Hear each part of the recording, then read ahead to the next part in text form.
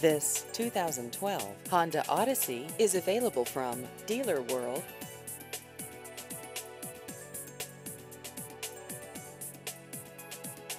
This vehicle has just over 28,000 miles.